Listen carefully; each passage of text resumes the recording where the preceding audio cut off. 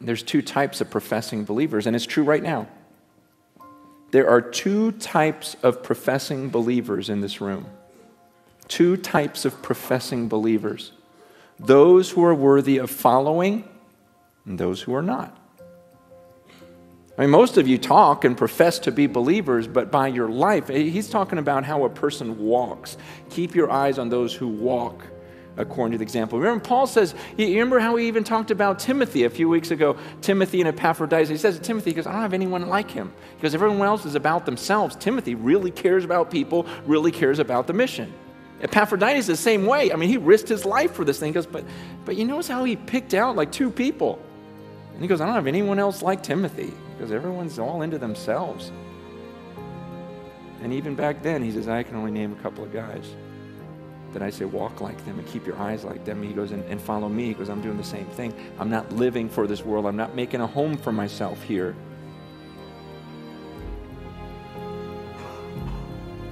But here's what killed me. He says, uh, For many of whom I've often told you, and I now tell you even with tears, walk as enemies of the cross of Christ. He says, many. And he's talking about people that attend church many walk as enemies of the cross of Christ. Don't miss this. Many walk. That's how, see, I'm not going to ask for a show of hands and say, how many of you are enemies of Jesus Christ this morning? You know, notice how Paul, uh, Todd didn't do that in the beginning? Hey, how many of you guys are enemies of Jesus? Oh, good, good. I see that hand. No one's going to admit it. No one's even going to say it. But he says, many walk.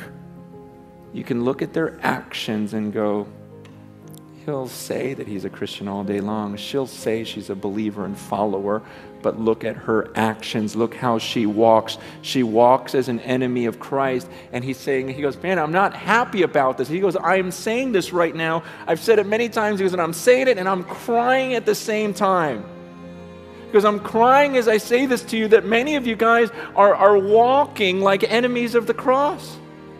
You talk like it, but you, you're, you're walking like enemies of the cross. And the reason why he's crying is because he says, Their end is destruction.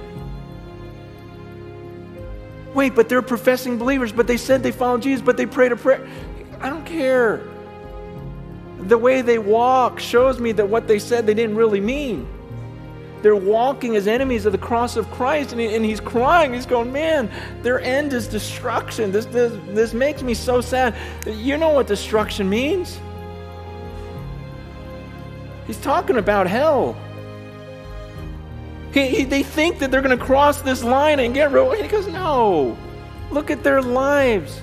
Their end is destruction. He goes, and it's killing me. He, he, says, by their walk, and he explains them. He says, their God, their God isn't Jesus. Their God is their belly.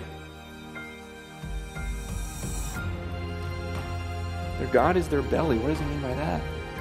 It's their hunger, what they hunger for. Whatever I want, I'm going to get.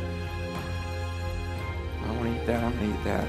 I want to buy that, I'm going to buy it because God's not your God. You don't, you don't buy the things that God wants you to buy. You don't say the things that God wants you to say. You just say the things you want to say.